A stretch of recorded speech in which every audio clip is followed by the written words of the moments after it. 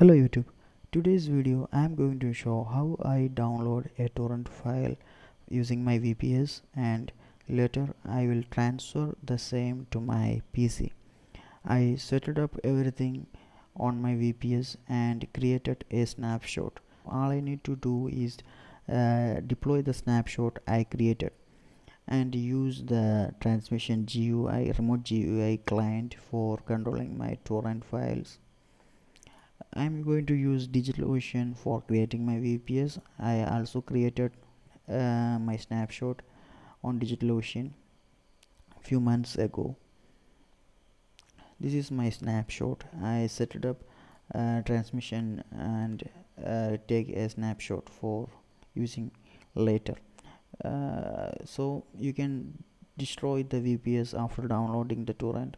And whenever you need a torrent download you can deploy the snapshot. That's real quick. Uh, so first of all uh, you need to create a droplet. You can give any name. I'm going to give temp and select the size.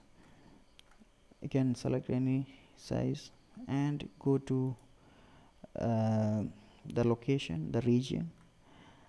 And I'm going to select my snapshots. I have the super good torrent snapshot. And press the create droplet button. It is not like uh, creating a new droplet. It will take around 5 minutes for deploying a snapshot. So you have to wait.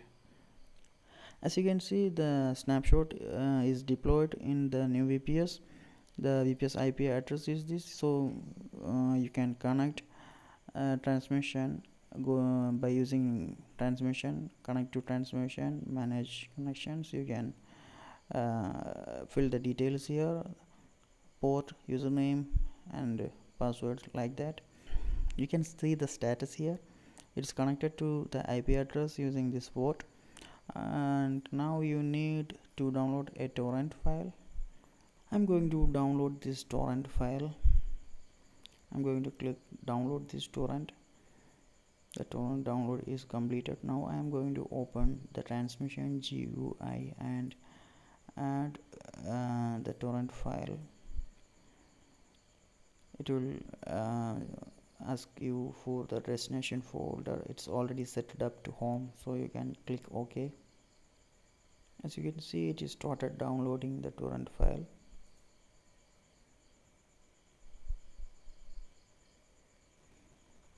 the as you can see the download is almost completed. It's 99% now. Okay the download is completed. Now you can uh, see the files in my home directory.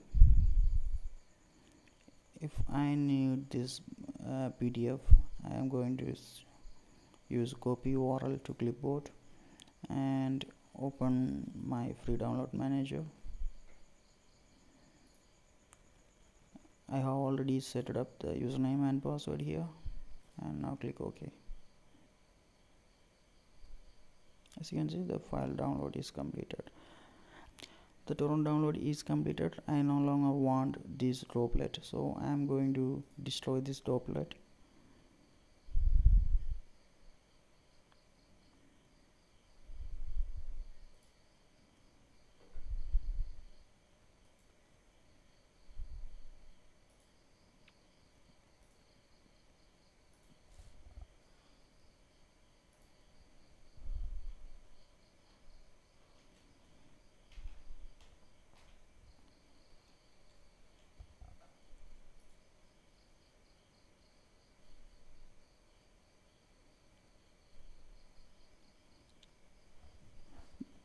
droplet destroying initiated successfully it will take some time to destroy this uh, droplet. Droplet means VPS uh, still you have the snapshot